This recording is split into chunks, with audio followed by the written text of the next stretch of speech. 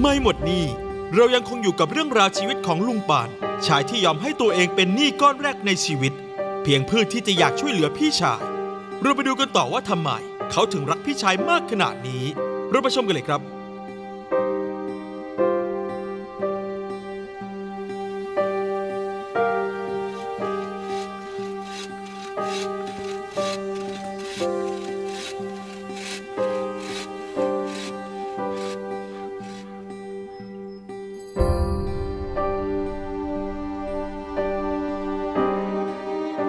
สวัสดีครับ ผมชื่อลุงปันอายุ 58 ปี มีอาชีพรับจ้างทั่วไปทำงาน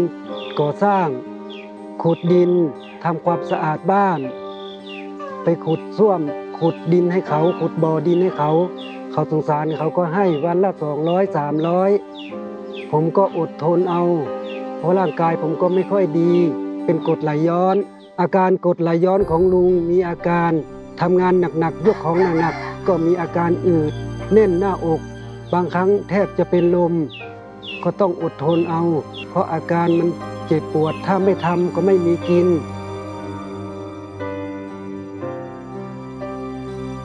และตอนนี้แขนของลุงปันชา ข้างขวา ทั้งนิ้วทั้งแขนลุงปันปวดชาไปหมด ไปหาหมอหมอบอกว่า ลุงปันอาจจะเป็นกระดูกทับเส้นต้องผ่าตัด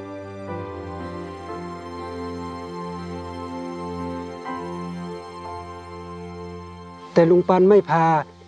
ถ้าพาแล้วลุงปันกลัวทำงานไม่ได้ จะไม่มีใครหาเงินมาเลี้ยงครอบครัว ครับผม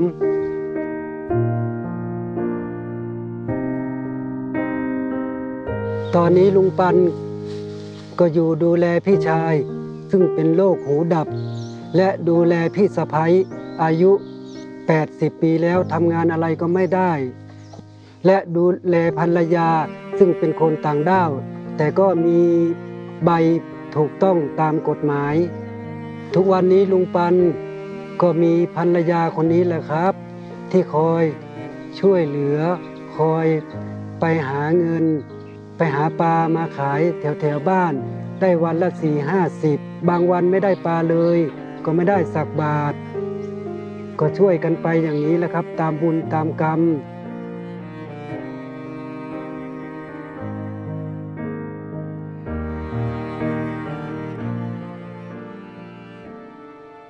มื่อสองปีที่แล้วพี่ชายถูกรถเฉียว ล้มลงลุกไม่ได้ ป่วยติดเตียงมาหลายปี ลุงปันต้องอยู่ดูแล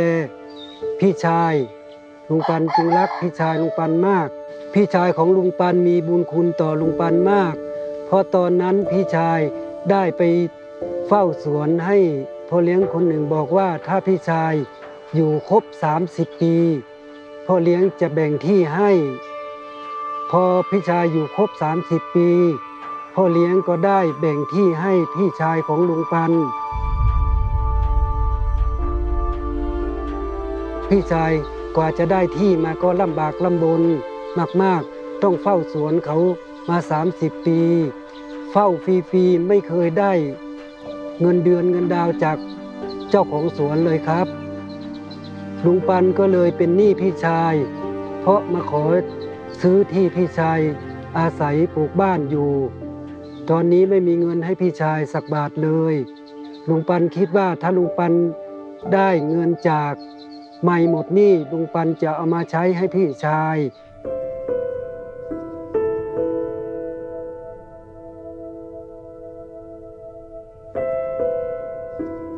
ลุงปันก็อยากบอกกับพี่ชายลุงปันว่า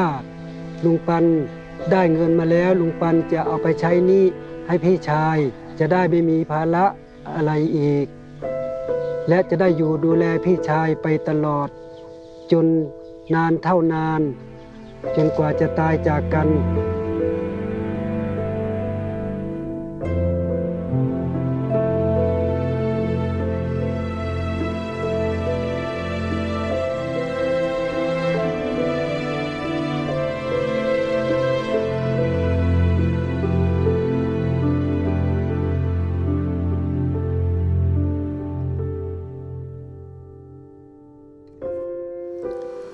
เวลามีพี่น้องอยู่ด้วยเนี่ย มันมีความสุขไหมลุงปันครับผมแล้วรักพี่ชายคนนี้มากไหมครับ ครับ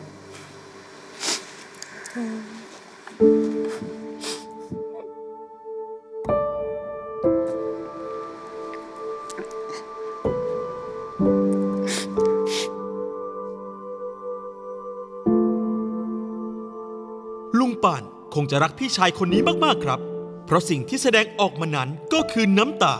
เป็นสิ่งที่พิสูจน์ได้ว่า พี่ชายคอยช่วยเหลือและมอบความรักให้กับน้องชายคนนี้มาตลอด ถึงขั้นยอมแบ่งที่ดินที่ตัวเองทำงานมาเกือบครึ่งชีวิต ให้กับลุงป่าน ช่วงหน้าเรามาดูกันต่อว่าพี่น้องคู่นี้ พวกเขาช่วยเหลือซึ่งกันและกันอย่างไรบ้าง ต้องติดตาม